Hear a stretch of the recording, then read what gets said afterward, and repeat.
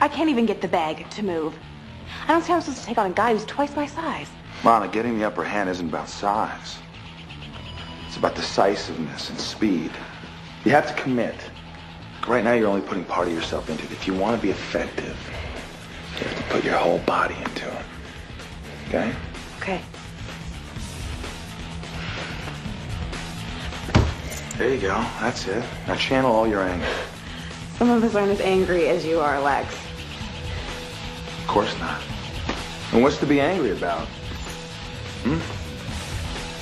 Sound like a bunch of frat boys came in your own place and harassed you. It's not like you felt helpless when that guy shoved you. And I know it doesn't make you mad that you needed Clark Kent to save you again.